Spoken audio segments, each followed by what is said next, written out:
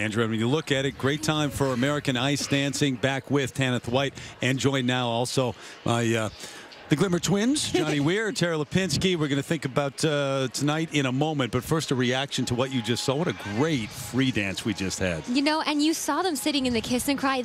I don't even think they expected it themselves. So Yeah. it was just so surprising and so magical. But overall, nothing to take away from Chock and Bates. They were exceptional as well, and I bet they'll battle it out for quite a while. All right, quick thought on tonight, what we're going to see from the, the big three in the ladies' competition, plus uh, another one that we didn't expect to be there. Speaking of upsets, maybe it's going to happen in the ladies' event as well. I mean, you have Polina in first place. She is cool as a cucumber. She has the mindset of a champion, and that's what Gracie and Ashley don't really have. They can't compete. So tonight will be interesting.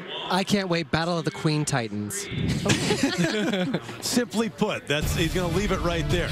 We'll hear from them though in a few hours, prime time tonight. A reminder: you can watch all the action from the championships with video on demand. Follow your favorite skaters at IceNetwork.com. Tonight, these Prudential U.S. Figure Skating Championships continue at 8 o'clock Eastern Time. Coming up next, except on the West Coast, it's your local news. Great afternoon is skating here, St. Paul, for our entire team. See you again in a little bit, everybody. Goodbye.